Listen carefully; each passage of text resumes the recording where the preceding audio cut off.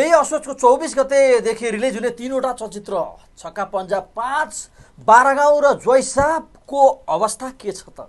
जब tailor सार्वजनिक भयो टिन्टेको कुनको craze सबैभन्दा बढी छ। विराज भट्टले यस विषयमा के भनेका छन्? इन्टरभ्यूमा गएर विराज भट्टले आफ्नो छोरा समीर भट्टको बारेमा के भनेका छन्? साथै दीपक राजगिरीले के भनिरहेका छन्? अहिले अब कम्पिटिटरहरू त कडा कडा निस्केका छन्। यति बेला दीपक राजगिरीलाई प्रश्नहरू सोद्धाखेरि कुन फिल्म हेर्नुहुन्छ भनेर प्रश्न सोद्धाखेरि के भने दीपक राजगिरीले? यावत विषयमा को नम्बर वानमा छ को नम्बर टूमा छ को नम्बर थ्रीमा छ र कसले बाजी मार्न सक्ने सम्भावना छ यस विषयमा आज हामी चर्चा परिचर्चा गर्नेछौँ अहिलेको लेटेस्ट ट्रेन्डको बारेमा। कृपया तपाईँ यदि यो च्यानलमा नयाँ हुन्छ भने तुरन्त च्यानल सब्सक्राइब गरेर भिडियो लाइक गरी हामीलाई साथ सपोर्ट दिन सक्नुहुन्छ। हामीसँग हुन्छ रघु ढकालज्यू। स्वागत छ तपाईँलाई यस कार्यक्रममा। नमस्ते सबैजनालाई। सर सबैभन्दा पहिलो प्रश्नबाट मैले तपाईँको आजको यस एपिसोडलाई सुरु गर्न चाहन्छु। अब भ्यूको कुरा गरौँ है सबभन्दा पहिला। तिनवटै ट्रेलरमा कम्पेरिजन गरिदिनुहोस् कसको ट्रेलरमा सबभन्दा बढी भ्यू छ र कति कति भ्यू छ? यस्तो छ कि? अहिलेसम्मको अवस्थालाई हेर्ने हो भने बाह्र गाउँको ट्रेलरमा चाहिँ पन्ध्र लाख भ्युज आइसकेको छ है। है है पन्ध्र लाख। जुन दिन जुन चाहिँ पाँच दिन अगाडि रिलिज भएको थियो है। एकदम एकदम। अब त्यसै गरी छक्का पन्जा पाँचको ट्रेलरमा पनि लगभग लगभग सात लाख भ्युज क्रस भइसकेको छ। सात लाख है? सात लाख क्रस भइसकेको छ होइन? अब आज बेलुकासम्म नभए भोलि बिहानसम्म यो चलचित्रको पनि दस लाख चाहिँ हुन्छ। यो त चौबिस घन्टाभित्र वान मिलियन पुग्छ भन्ने हाम्रो सम्भावना। थियो तर चौबिस घन्टाभित्र पुगेन। लगभग लगभग बाह्र गाउँको त पुगेको थियो नि त होइन लगभग होइन बाह्र गाउँको पनि दुई दिनमा वान मिलियन पुगेको। दुई दिनमा one million पुगेको। थियो। नि- यसको त दुई दिनमा नि वान मिलियन नपुग्ने यस्तो देखियो है। अलि अलि आज आज बेलुका सात वर्षमा चाहिँ पुग्नु अँ, पर्यो। आज बेलुका सात वर्षसम्म पुग्दैन सर। तिन लाख त अब के आउला र होइन बेलुका सात लाख भ्यू छ होइन? सात लाख छ। हजुर हजुर। अब बेलुकासम्म धेरै भए आठ लाख होला होइन? भर्खरै हेर्नु भएको? भर्खर हेऱ्यो। ए भन्छ सात लाख भ्यू छ होइन? सात लाख छ। अनि सर अब तेस्रो प्रतिस्पर्धी।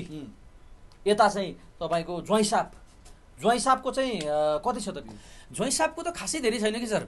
लगभग लगभग ज्वाइँ साहबको भ्युज अहिलेसम्म पनि दस लाख आउन सकेको छैन कि? यो किन यस्तो भयो मलाई अचम्म लागिरहेको छ कि अहिले पनि सात आठ लाखको हाराहारीमा छ कि? जियोस् बाह्र गाउँभन्दा पनि पहिला रिलिज भएको बाह्र गाउँभन्दा नि पहिला रिलिज भएको हो होइन? अब होइन बाह्र गाउँभन्दा पछि हो। भनेपछि यता बाह्र गाउँको पन्ध्र लाख। बाह्र गाउँको पन्ध्र लाख? त्यसपछि छक्का पन्जाको लगभग सात लाख क्रस भयो। सात लाख क्रस भयो। अनि त्यसपछि यता चाहिँ ज्वाइँसापको पनि लगभग सात लाखको वरिपरि सात? लाखको वरिपरि छ। हेर अब छक्का ठिक छ भ्यूको कुरा गरियो होइन? अब हामी चाहिँ लाइक र कमेन्टको हेरौँ न त। कसको लाइक लाइक त अब यस्तो छ कि? अब ज्वाइँ साहबको कुरा गर्ने हो भने ज्वाइँ साहबको उमा चाहिँ बिस हजार लाइक छ है। बिस हजार बिस लाइक हजार लाइक छ।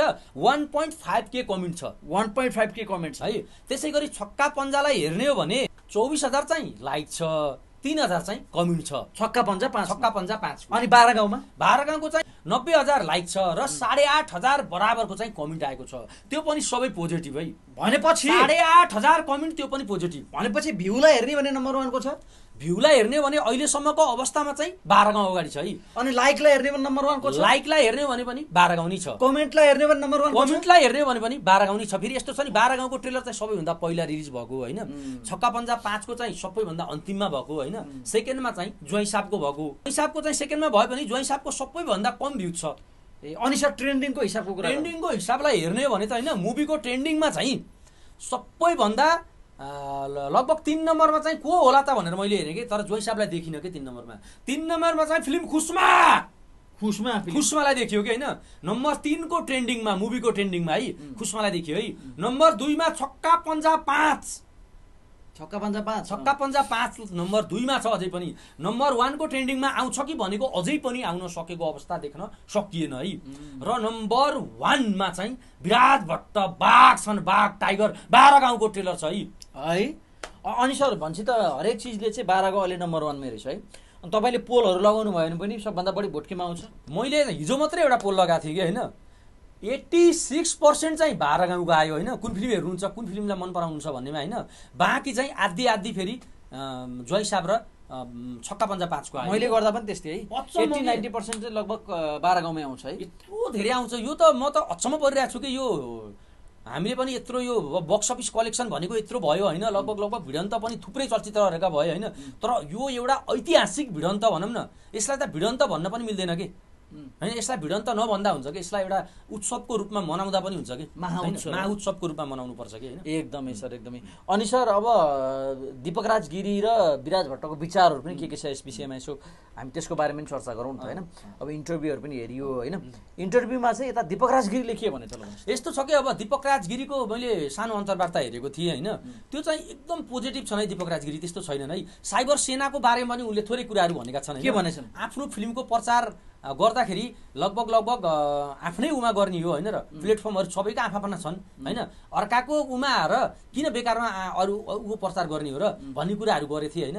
अब हुन पनि हो ठिक एक प्रकारले होइन र अब कसैलाई बाह्र गाउँको प्रचार गर्न मन लाग्यो बाह्र गाउँको फ्यान छ कोही भने म छक्का पन्जा पाँच हेर्दिनँ बाह्र गाउँ हेर्छु किन भन्नु पऱ्यो र होइन र? अब बाह्र गाउँ हेर्न मन लाग्यो बाह्र गाउँ हेर्नु छक्का पन्जा पाँचकै टेलरमा गएर किन कमेन्ट हान्नु हो? त्यस्तो नगरिदिँदा हुन्छ भन्दा अब हाम्रो सबै नेपाली फिल्महरू चाहिँ लाई माया गर्नुपर्छ कि होइन? हो अब विराट भट्टका कोही फ्यानहरू होलान् कोही चाहिँ जितु नेपालका फ्यानहरू होलान् कोही चाहिँ दिपक राज गिरीका फ्यानहरू होलान् सबैले जे भए पनि उन सबैले लगानी गरेर बनाएका छन् होइन र सबैको मेहनत छ होइन।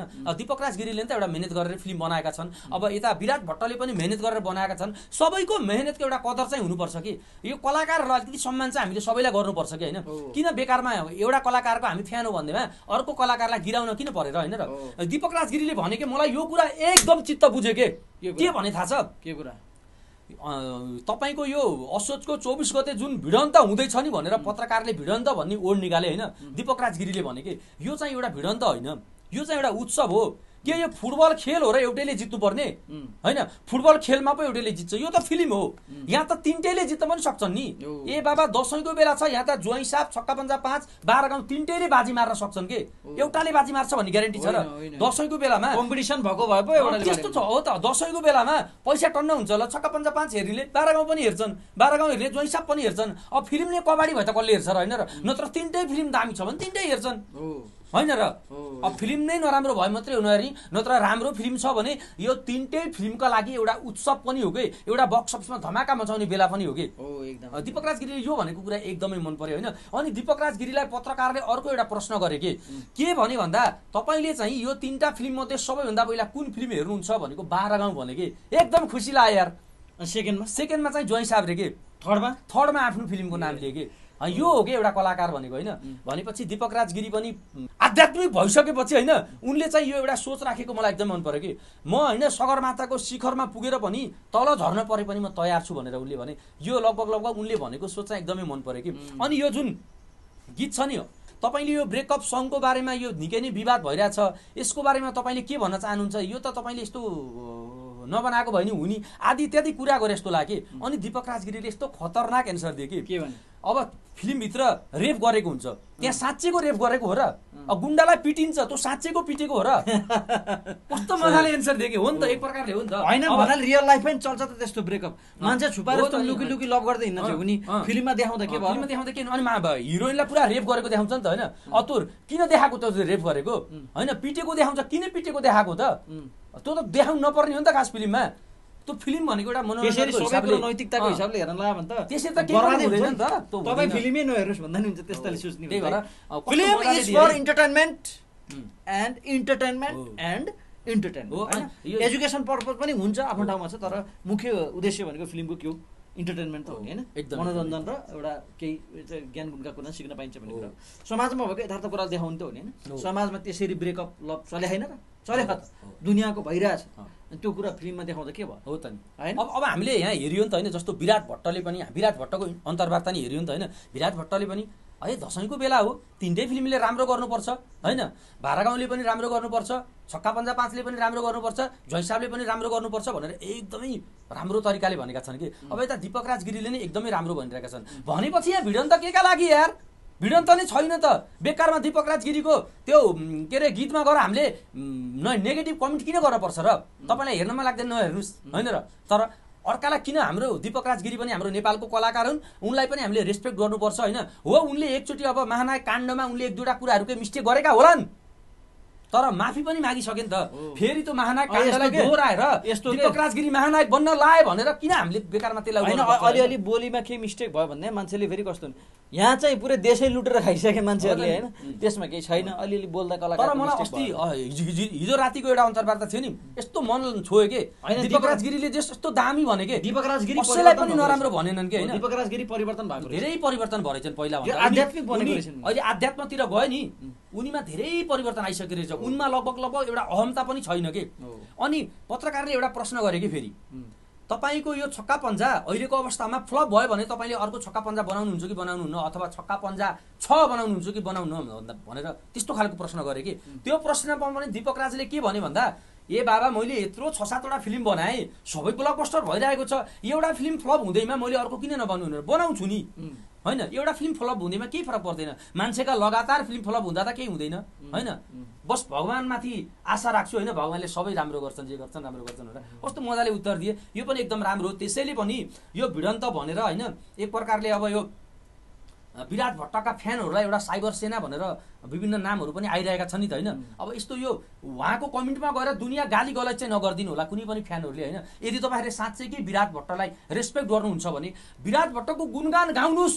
विराट भट्टको फिल्म हेर्छु भन्नुहोस्। तर दीपक राजालाई किन गाली गर्नु होइन? र उनको फिल्मलाई किन गाली गर्नु हामीले होइन? र जितु नेपाललाई किन गाली गर्नु? गाली गलत काम गर्ने नगर्नुहोस्। एउटा सबै भाषामा होइन राम्रो तालले विराट भट्टको फ्यान हो भनेर चाहिँ आफूलाई चिनाउनुहोस् होइन? र हामी विशेष गरी हामी नेपाली भएर अलिकति रेस्पेक्टफुल हुन्छ हो जानु होइन। अब जस्तो हरेक कलाकार भनौँ न दीपक राज गिरीको फिल्म अहिलेसम्म सबै ब्लकबस्टर भयो कि?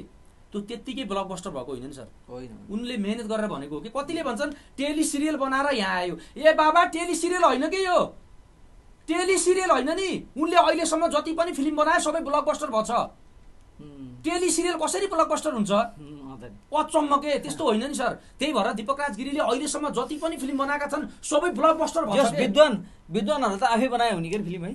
उहाँहरू। ए बाबा अब यो पनि यो फिल्म पनि छ नि। यो पनि ब्लकबस्टर हुन्छ। कसैले रोक्न सक्दैन के? होइन अलिकति जस कमाइ चाहिँ अलिकति सोचे जस्तो नगर्ला। हो तर हिट। सुपर हिट हुनको लागि त कसैले एउटा। कुराले मानम विराट भट्टले राम्रो गर्लान् तर दीपक राजले पनि कमाउँछन् नि त। अब हाम्रो चाहना के हो भन्दा हरेक नेपाली चलचित्रले राम्रो गरून् कि? होइन योपालि अलिकति भिडन्त छ। विराट भट्टको फिल्म अलिकति राम्रो हाई बनेको छ। युट्युबको ट्रेन्डिङमा पनि विराट भट्टको फिल्म आएको छ। होइन विराट भट्टको सपोर्ट गरौँ। हामीले पनि गरेकै छौँ विराट भट्टको सपोर्ट। होइन र? हामीले पनि गरेका छौँ। यसको मतलब यो होइन कि दीपक राजलाई गिराउने. होइन? यसरी आफ्नो देशको कलाकारलाई आफ्नो देशको गहनालाई गिराउने काम चाहिँ नगरौँ प्लिज होइन? कसैले पनि यस्तो काम चाहिँ गर्नु राम्रो हुँदैन। एकदमै सर। अन्तिममा के भन्छ अन्तिममा असोजको चौबिस गते तिनवटा चलचित्र आउँदैछ। तपाईँहरू चाहिँ कुन चाहिँ चलचित्रलाई हेर्नुहुन्छ? कमेन्ट बक्समा गएर प्रतिक्रिया दिनु नबिर्सिनु होला र भिडियो मन पर्यो भने भिडियोलाई एउटा लाइक गरेर च्यानललाई सब्सक्राइब गर्नु पनि नबिर्सिनु होला अर्को भिडियोमा फेरि यस्तै फिल्म रिभ्यू बक्स अफिस कलेक्सनसँग सम्बन्धित भिडियो लिएर आउँछौँ। त्यति दिनसम्मको लागि अब time. Bye bye. bye.